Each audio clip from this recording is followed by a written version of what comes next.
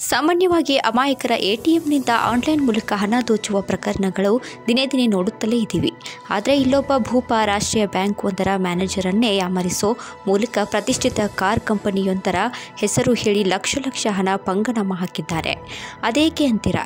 ಈ ಸ್ಟೋರಿ ನೋಡಿ. ಹೌದು, ದೇಶದಲ್ಲಿ ದಿನೇ ದಿನೇ ಆನ್ಲೈನ್ ಮೂಲಕ ಖಾತೆಗೆ ಕನ್ನ ಹಾಕುವಂತಹ ಪ್ರಕರಣಗಳು ನಾವು ನೋಡುತ್ತಲೇ ಇದ್ದೇವೆ. ಆದರೆ ವಾಣಿಜ್ಯ ನಗರಿ ಹುಬ್ಬಳ್ಳಿಯಲ್ಲಿ ಪ್ರತಿಷ್ಠಿತ ಬ್ಯಾಂಕೊಂದರ ಮ್ಯಾನೇಜರ್ಗೆ ಸೈಬರ್ ಕದಿಮನೊಬ್ಬ ಬರೋಬ್ಬರಿ ಇಪ್ಪತ್ನಾಲ್ಕು ಲಕ್ಷ ಪಂಗನಾಮ ಹಾಕಿದ್ದಾನೆ. ನಗರದ ಉಣ್ಕಲ್ನಲ್ಲಿರುವ ಎಸ್ಬಿಐ ಬ್ಯಾಂಕ್ ವ್ಯವಸ್ಥಾಪಕರನ್ನೇ ಆನ್ಲೈನ್ ವಂಚಕವನ್ನೊಬ್ಬ ನಂಬಿಸಿ ಇಪ್ಪತ್ನಾಲ್ಕು ಲಕ್ಷ ತೊಂಬತ್ತೈದು ಸಾವಿರ ಒಂಬೈನೂರು ರೂಪಾಯಿಗಳನ್ನು ವಂಚನೆ ಮಾಡಿದ್ದಾರೆ. ಆರ್ಎನ್ಎಸ್ ಮೋಟಾರ್ಸ್ ಕಂಪನಿಯ ವ್ಯವಸ್ಥಾಪಕ ನಿರ್ದೇಶಕ ಹೆಸರಿನಲ್ಲಿ ಬ್ಯಾಂಕ್ ವ್ಯವಸ್ಥಾಪಕರಿಗೆ ಕರೆ ಮಾಡಿ ನಂಬಿಸಿರುವ ವಂಚಕ ಬರೋಬ್ಬರಿ ಇಪ್ಪತ್ನಾಲ್ಕು ಲಕ್ಷ ತೊಂಬತ್ತೈದು ಸಾವಿರದ ಒಂಬೈನೂರು ರೂಪಾಯಿಗಳನ್ನು ವರ್ಗಾಯಿಸಿಕೊಂಡು ಮೋಸ ಮಾಡಿದ್ದಾನೆ. ಆದ ನಂತರ ಸ್ವಲ್ಪ ಟೈಮ್ ಬಿಟ್ಟು ಅವ್ರು ಮತ್ತೆ ಅವ್ರಿಗೆ ಕಾಲ್ ಮಾಡಿ. ನಂದು ಸ್ವಲ್ಪ ಅರ್ಜೆಂಟ್ ಕೆಲವು ನಮ್ಮ ಅಕೌಂಟಿಂದ ದುಡ್ಡು ಟ್ರಾನ್ಸ್ಫರ್ ಮಾಡಬೇಕಾ ಆರ್ ಟಿ ಜಿ ಎಸ್ ಮಾಡಬೇಕಾ ಅರ್ಜೆಂಟ್ ಇದಾವೆ ಬಿಸ್ನೆಸ್ಗೋಸ್ಕರ ನೀವು ಮಾಡಿ ಅಂತ. ಸೊ ಅವರು ಡಿಟೇಲ್ ವಾಟ್ಸಪ್ ಮುಖಾಂತರ ತೊಗೊಂಡು, ಇವ್ರಿಗೆ ನಂಬ್ಕೊಂಡು ದುಡ್ಡು ಟ್ರಾನ್ಸ್ಫರ್ ಮಾಡಿದ್ದಾರೆ. ಎರಡು ಅಕೌಂಟ್ಗೆ ಅದರಲ್ಲಿ ಒಂದರಲ್ಲಿ ಫಸ್ಟಲ್ಲಿ ಸುಮಾರು ಒಂಬೈದು ನೈನ್ ಲ್ಯಾಕ್ಸ್ ಮತ್ತು ಬೇರೊಂದು ಹದಿನೈದು ಲಕ್ಷ ಒಟ್ಟು ಸೇರಿ ಎರಡು ಅಕೌಂಟಲ್ಲಿ ಇಪ್ಪತ್ನಾಲ್ಕು ಲಕ್ಷ ತೊಂಬತ್ತು ಐದು ಸಾವಿರ ದುಡ್ಡು ಟ್ರಾನ್ಸ್ಫರ್ ಮಾಡಿದ್ದಾರೆ. ತದನಂತರ ಅವರು ಆರ್ ಎನ್ ಎಸ್ ಮೋಟ್ರಿಗೆ ನಮಗೆ, ಅಲ್ಲಿ ಬಂದು ಮೀಟಿಂಗ್ ಅಲ್ಲಿ ಮಾಡಿಸ್ತೀವಿ ಅಂತ ಹೇಳುವಾಗ, ಇವರು ಅಲ್ಲಿ ಹೋಗುವಾಗ ಗೊತ್ತಾಯಿತು, ಆ ಥರ ಯಾರು ಫೋನ್ ಮಾಡಿಲ್ಲ, ಹೇಳಿಲ್ಲ. ಇವರು ಅವಾಗ ಗೊತ್ತಾಯ್ತು ಇದು ಯಾರು ಚೀಟ್ ಮಾಡಿದ್ದಾರೆ.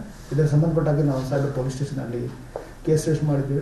ಈಗ ಒಂದು ಸ್ಪೆಷಲ್ ಟೀಮ್ ಮಾಡಿ ಕೇಸ್ ಪತ್ತೆ ಹಚ್ಚಿ ನಮ್ಮ ಸೈಬರ್ ಕ್ರೈಮ್ ಪೊಲೀಸ್ ಸ್ಟೇಷನ್ ಅವ್ರ ನೇತೃತ್ವದ ಒಂದು ಟೀಮ್ ಮಾಡಿದ್ದೀವಿ ಕೆಲವು ಎವಿಡೆನ್ಸಸ್ ಏನೇನು ಅದಕ್ಕೆ ಸಂಬಂಧಪಟ್ಟ ಯಾವ ಅಕೌಂಟ್ಗಳಿದ್ದು ಟ್ರಾನ್ಸ್ಫರ್ ಆಗಿದೆ ಅದು ಕೂಡ ಕಲೆಕ್ಟ್ ಮಾಡಿದ್ದೀವಿ ಈಗ ತನಿಖೆ ತನಿಖೆಯಲ್ಲಿ ಮುಂದೆ. ಫೆಬ್ರವರಿ ಇಪ್ಪತ್ತರಂದು ಬೆಳಿಗ್ಗೆ ಹನ್ನೊಂದು ಮೂವತ್ತರ ವೇಳೆ ಬ್ಯಾಂಕ್ ವ್ಯವಸ್ಥಾಪಕಿ ಮೀನಾ ಕೆವಿ ಅವರಿಗೆ ಕರೆ ಮಾಡಿದ ವಂಚಕ ಆರ್ಎನ್ಎಸ್ ಮೋಟಾರ್ಸ್ ಕಂಪನಿಯ ವ್ಯವಸ್ಥಾಪಕ ಅನಿಲ್ ಶೆಟ್ಟಿ ಎಂದು ಪರಿಚಯಿಸಿಕೊಂಡಿದ್ದಾನೆ. ಬ್ಯಾಂಕಿನ ಬಡ್ಡಿ ಮತ್ತು ಓವರ್ ಡ್ರಾಫ್ಟ್ ಸೌಲಭ್ಯದ ಬಗ್ಗೆ ಮಾತನಾಡಬೇಕಿತ್ತು. ಮಧ್ಯಾಹ್ನ ಮೂರಕ್ಕೆ ಸಭೆ ಇದೆ. ಬ್ಯಾಂಕಿನವರು ಪಾಲ್ಗೊಳ್ಳಬೇಕೆಂದು ಹೇಳಿ ಹಣ ವರ್ಗಾಯಿಸಲು ಬಗ್ಗೆ ಮಾತನಾಡಿ ಯಾಮಾರಿಸೋ ಕೇಸ್ ಸ್ಕೆಚ್ ಹಾಕಿದ್ದಾನೆ ಎರಡು ಗಂಟೆ ಬಳಿಕ ಮತ್ತೆ ಕರೆ ಮಾಡಿದ ವಂಚಕ ಮಧ್ಯಾಹ್ನ ಒಂದು ಗಂಟೆಗೆ ಕರೆ ಮಾಡಿ ಕೆಲಸದ ಮೇರೆಗೆ ಬೆಳಗಾವಿಗೆ ಬಂದಿದ್ದು. ವಾಟ್ಸಪ್ಗೆ ಕಳುಹಿಸಿ ಗ್ರಾಹಕರ ಖಾತೆಗೆ ತುರ್ತಾಗಿ ನಮ್ಮ ಕಂಪನಿಯ ಖಾತೆಯಿಂದ ಹಣ ಆರ್ ಟಿ ಜಿ ಎಸ್ ಮಾಡಲು ಕೋರಿದ್ದಾನೆ.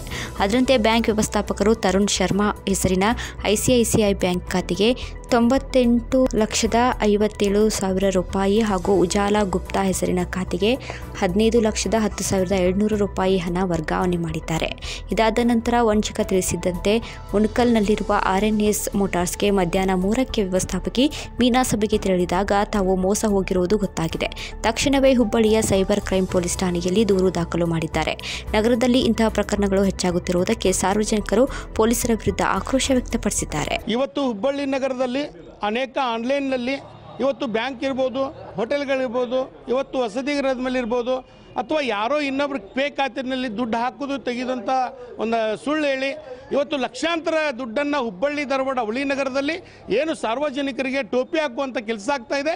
ಈ ತಕ್ಷಣ ಪೊಲೀಸ್ ಇಲಾಖೆ ಮತ್ತು ಸಂಬಂಧಪಟ್ಟ ಎಲ್ಲ ಸಂಬಂಧಪಟ್ಟ ಇಲಾಖೆದಲ್ಲಿ ಬಾಳದನ್ನ ಮುಂಚೂಣಿಯಲ್ಲಿ ಇಟ್ಟುಕೊಂಡು ಇಂಥ ಕಳ್ಳರನ್ನ ಬಂಧಿಸಬೇಕಾಗಿದೆ. ಒಟ್ಟಾರೆ ಇಷ್ಟು ದಿನ ಅಮಾಯಕ ಜನಸಾಮಾನ್ಯರನ್ನೇ ಟಾರ್ಗೆಟ್ ಮಾಡುವ ಮೂಲಕ ಆನ್ಲೈನ್ನಲ್ಲಿ ವಂಚನೆ ಮಾಡುತ್ತಿದ್ದ ಕದಿಮರು ಇದೀಗ ಬ್ಯಾಂಕ್ ಸಿಬ್ಬಂದಿಗಳಿಗೆ ಪಂಗನಾಮ ಹಾಕಲು ಮುಂದಾಗಿರುವುದು ನಿಜಕ್ಕೂ ದುರಂತವೇ ಸರಿ. ಇನ್ನಾದರೂ ಪೊಲೀಸ್ ಇಲಾಖೆ ಇಂತಹ ಸೈಬರ್ ವಂಚಕರ ಜಾಲ ಪತ್ತೆ ಹಚ್ಚಿ ಇಂತಹ ಪ್ರಕರಣಗಳಿಗೆ ಕಡಿವಾಣ ಹಾಕಲು ಮುಂದಾಗಬೇಕಿದೆ. Big TV news Hubballi.